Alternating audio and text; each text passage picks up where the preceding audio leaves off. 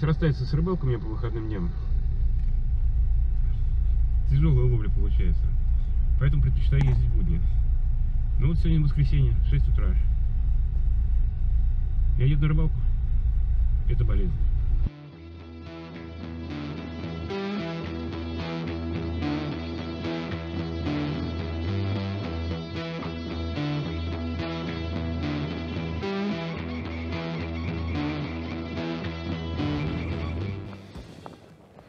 Друзья, всем привет! С вами канал Йорш не уйдешь и я Александр.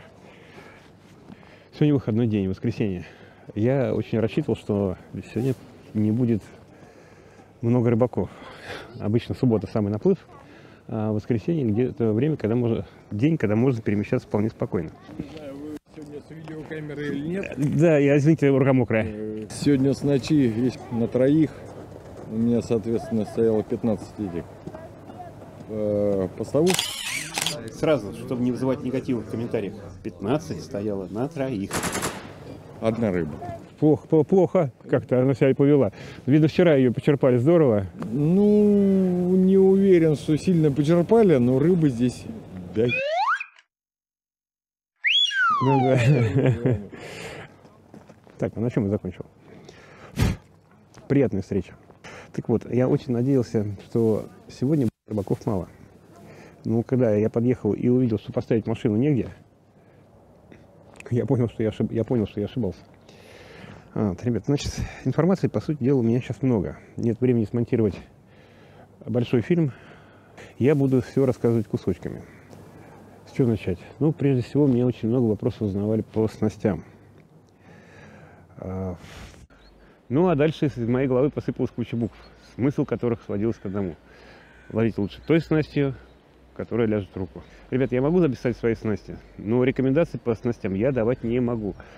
Что можно спросить человека, который начинал ловить крокодилами, кидая им блесны нулевого и первого размера? Сегодня я сделал такие, с которых я начинал ловлю форели. Вот она, пожалуйста.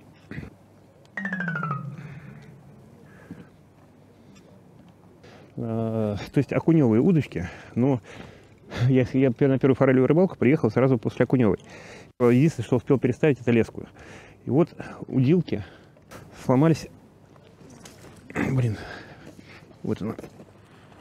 Форелька наша. А, Первые же окуневки у меня сломались. Первые же удилки окуневые у меня сломались, поскольку хлыстики были полые. Так вот, я сейчас сделал хлысты, поставил цельные и постараюсь удочку грузить сегодня по полной программе. Посмотрим, выдержит ли она форель. Я какой-то сегодня самоуверенный в плане поклевок, кстати. Что-то у меня ни разу еще не сложилась рыбалка в выходной день. А, Но начало сегодня радостное. Сегодня уже две поклевки еще до запуска. Две поклевки, две рыбы.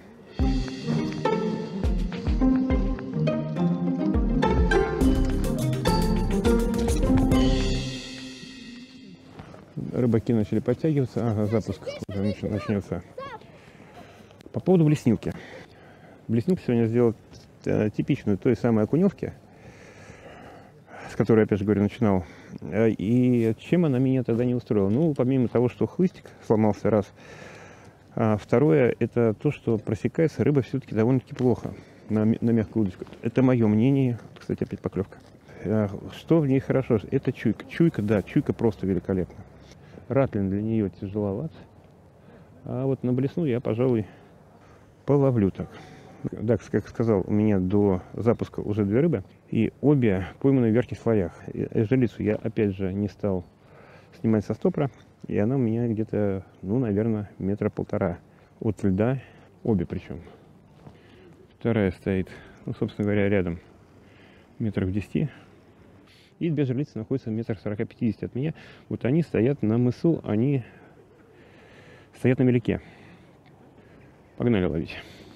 Ну что, меняем резину на железо. Убираем. Ой, это наша пепельница будет сегодня.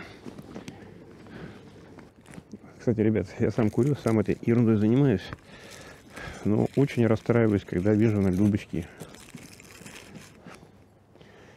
Испытываем нашу удилку под блесну мало чем от- отличается от резиновой. Единственное, что хлыст более жесткий, более толстый.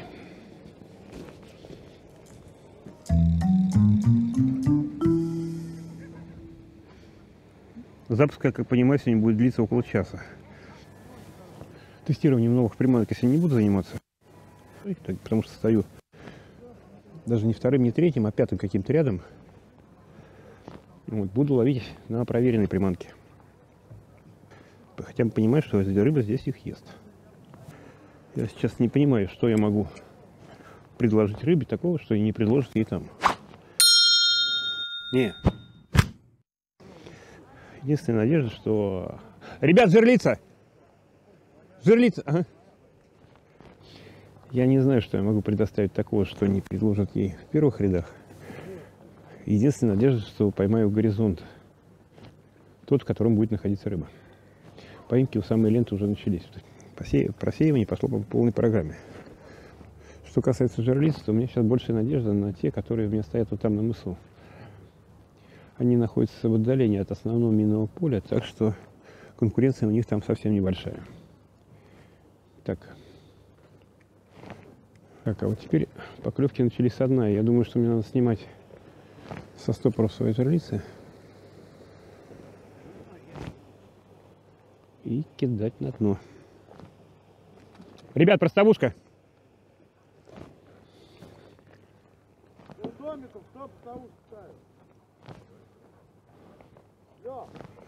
Ну что-то не на ту ловлю. Опа, поклевка, по-моему. Поклевка. На ту ловлю. Нет, на то, на то, на то, на то.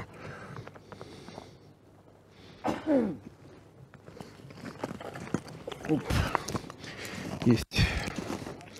Отцепилась. Третья атака. Странно, блин. Чего? Вчера вроде более-менее так она тык-тык, ну, как бы на рад не садилась. Ага. А вчера большие оставила. И клипсы, клипсы. Мгм. Блин, сегодня на маленький. Бум, нет, бум, нет. Ну, Я вчера все на блесну в основном. Там. Причем на белую. Так, ребята, мне надо менять горизонт по-любому. А иначе нам удачи не удать. Ну, я ее и в другом горизонте не увидел. Я про железо сейчас.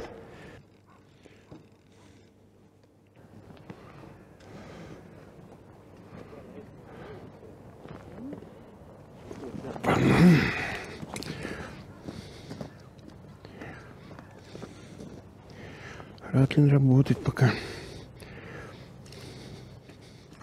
Твою мать-то. Сначала Ратлин зацепился крючками за лед. И форель сошла все-таки. Сучка. Сошла Ратлин, за- зацепился вторым крючком.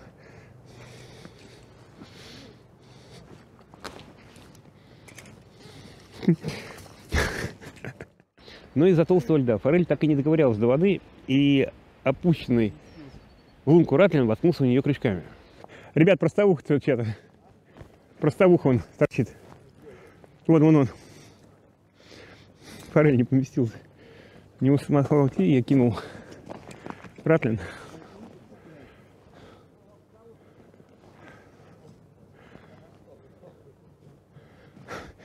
И Ратлин ее за бочину схватил. Цирк. Вышла в мою сторону рыбка, вышла. Так, ребят, ну ладно, Ратлин работает. Я сейчас поэкспериментирую с блесной, с новой удочкой. Блин, ну вот что не ловить, а? Вот что дурная была голова. Ногам покоя не дает, говорят, да? Что за натура такая? Ну клюет же на Ратлин. Лови на Ратлин. Нет. В голове. А вот на это интересно, будет клевать?